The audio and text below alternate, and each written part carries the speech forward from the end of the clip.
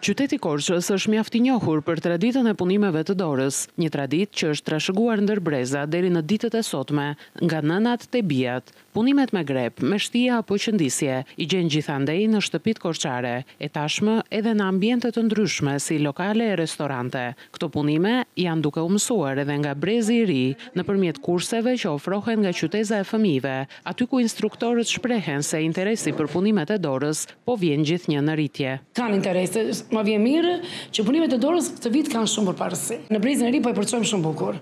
Dhe këta fëmijë që unë kam zgjedhur ose që kanë zgjedhur të zgjedhin këtë program, janë shumë të përgatitur.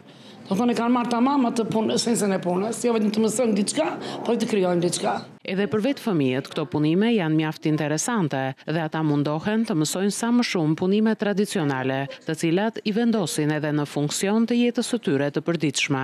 Unë po mundohem të bëj këtë breshkën me grep dhe E kam filluar vetë dhe do dëshiroj ta mbaroj vetë, sepse mua më pëlqen shumë të punoj me grep.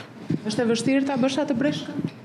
Jo, po e pate qejf diçka, ajo bëhet. Çfarë punimesh ke bërë?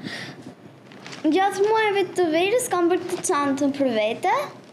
Ishte pak e lodhshme, por e mbarova me sukses. Tani çfarë po punon? Unë tani po punoj një lule për ta vënë në çantën e shkollës.